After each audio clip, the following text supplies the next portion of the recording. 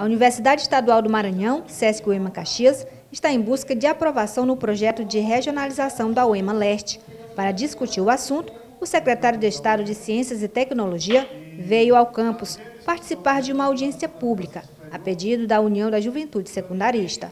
Mas principalmente do nosso assunto hoje é sobre a emancipação da UEMA no leste do estado, a regionalização dessa UEMA, para que a gente possa tornar independente e ter uma reitoria aqui no leste do Maranhão que trate de assunto da UEMA no leste do Maranhão. O secretário falou a respeito da regionalização da educação superior no estado como um todo, enfatizando a criação de universidades regionais, atendendo os anseios da comunidade acadêmica. É, nós vamos ouvir os alunos é, que nos convidaram, os professores, os, os servidores, a sociedade de modo geral daqui de Caxias, que fizeram esse convite para a Secretaria estar presente no dia de hoje e a partir das demandas que eles aqui colocarem, nós levaremos ao governador para que ele possa analisar se há a possibilidade de um processo similar ao que ocorreu em Imperatriz, como você falou.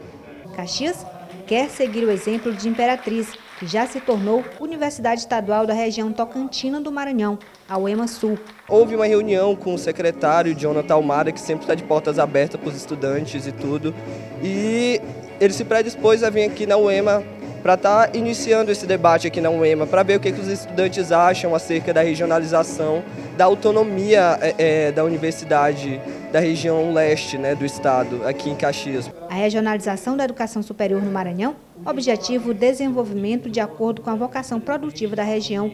O projeto de lei do governo estadual prevê autonomia administrativa às universidades.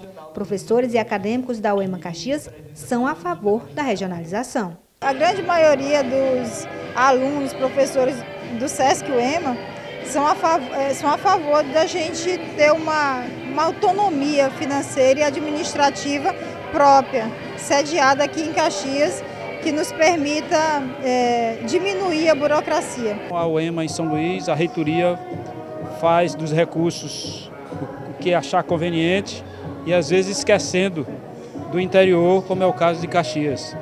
Enquanto é, permanecermos nessa condição, é, nós compreendemos que não, não, não, cresceremos é, além do que é, nós estamos atualmente. Então a gente acredita que irá facilitar muito mais a questão de administração né, da UEMA. Então eu me posiciono a favor que, que a gente consiga né, chegar a realizar esse projeto de UEMA Leste.